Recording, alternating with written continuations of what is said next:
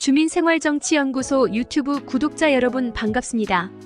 지난번에는 허은아 김 여사와 7월 통화, 한동훈의 섭섭함 토로 언짢음 있더라란 주제로 영상을 보내드렸는데요. 정치인의 목적은 다양한 사회적, 경제적 상황과 문제를 고려하여 국가 또는 지역의 발전과 민생을 위해 노력하는 것입니다. 그러나 주민 여러분 어떻습니까? 과연 구의원, 시의원, 국회의원, 구청장, 시장, 대통령들이 위와 같은 정치인의 목적을 제대로 실천하고 있다고 보십니까? 오늘은 민주당 명태균 녹취록 2차 공개. 김 여사 사람 볼 줄 아는 눈 있어란 주제로 영상을 보내드리겠습니다. 윤석열 대통령과 정치 브로커 명태균 씨의 2022년 5월 9일 통화 녹음 파일을 공개한 더불어민주당이 31일 저녁 2차 명태균 녹음 파일을 공개했다. 윤 대통령 부부가 2022년 6월 국회의원 보궐선거 때 김영선 전 의원 공천에 개입한 의혹 외에 같은 해 6월 치러진 지방선거, 그해 3월 국회의원 보궐선거 공천에 개입했다는 의혹이 있다는 게 명시 통화 녹음 파일로 증명됐다는 게 민주당 주장이다. 민주당이 공개한 녹음 파일은 명시가 2022년 6월 15일 지인들과의 대화 내용이 담긴 것이라고 한다. 녹음 파일에 따르면 명씨는 아까 조은희 의원 전화 왔더라고. 대표님 이제 내보고 이러대라고 했다. 명씨는 광역단체장 둘이 앉히시고 김진태 강원지사, 박완수 경남지사 진짜 생각하신 대로라며 지는 자기는 알잖아. 한 1년 반 전에 내봤으니까 라고 했다. 그러면서 조 의원이 생각하신 대로 두 사람 다 앉히고 저 조은희도 만들어주셨고 김영선도 만들었으니까 이제 우리명 대표님은 이제 영남의 황태자십니다. 이러대라고 했다.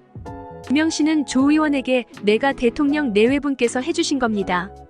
제가 한 게 아니고라고 했고 조 의원이 아니 우리명 대표님이 다 했잖아요. 제 것도 그렇고라고 했다고 지인들에게 얘기했다.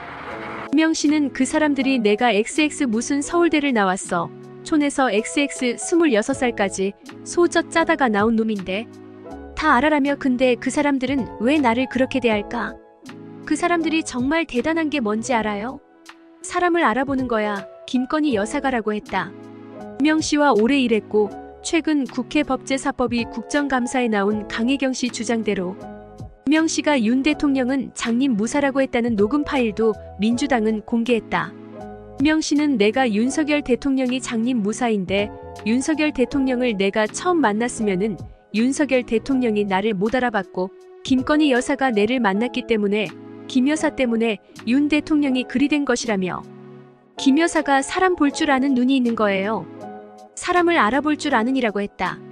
또 그래서 어제 2022년 6월 14일 딱 한마디 했어.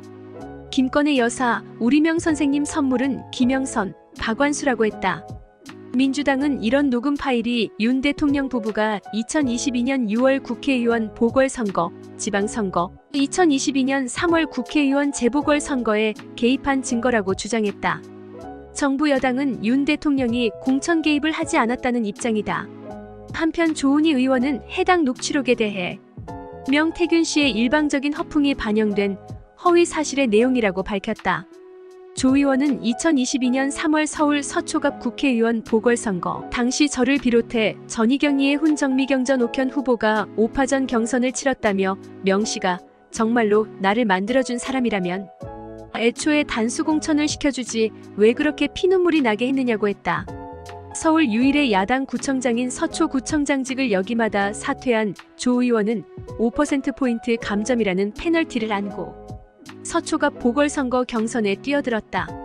당시 경쟁자는 전희경 당시 국민의힘 김기현 원내대표 비서실장, 이해훈 서초갑 3선, 정미경 당시 국민의힘 최고위원, 전욱현 전 서초갑 당협위원장 후보로 치열한 경선이 벌어졌지만 선거인단 50%, 국민 여론조사 50%로 진행된 경선에서 과반 이상의 득표로 결선 없이 공천권을 받았다는 게 조 의원의 설명이다. 조 의원은 명시 녹취록에 나오는 표현들도 제가 쓰는 표현들이 아니다. 서울시 부시장 출신인 저의 머릿속엔 명시가 주장하는 영남, 황태자 같은 표현이 없다면서 해당 녹취록에 나오는 내용들은 명시의 일방적인 허풍이자 과장된 허위 사실이라고 했다. 그리고 정치인들이 선거에서 당선되기 위해서는 생활정치 유튜브를 효과적으로 제작하여 지역 주민들에게 홍보함으로써 선거에 당선되기 위한 발판을 마련할 수 있겠지요. 아무리 지역 주민과 소통하고 지역의 어려움을 해소하는데 앞장서며 투명한 활동 보고를 통해 지역 사회 발전에 기여했다 하더라도 지역 사회에 효과적으로 알리지 못하면 정치인으로서의 발전을 기대할 수가 없는 것입니다. 중도표의 80%가 유튜브에서 나오고 있습니다. 정치인이 1인 미디어인 유튜브를 활용하지 않는다면 정치를 포기한 것이나 다름없다는 말이 수도권을 중심으로 전국으로 확산되고 있습니다. 유튜브를 활용하여 1만 명 이상의 구독자를 확보하고 있으면 선거에서는 50%를 먹고 들어간다는 것이 시대적 현실입니다.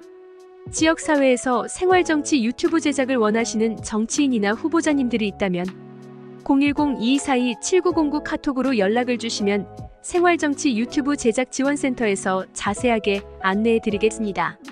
이 영상이 마음에 드신다면 구독과 좋아요 꼭 눌러주시면 감사하겠습니다. 다음 영상에서 또 만나요.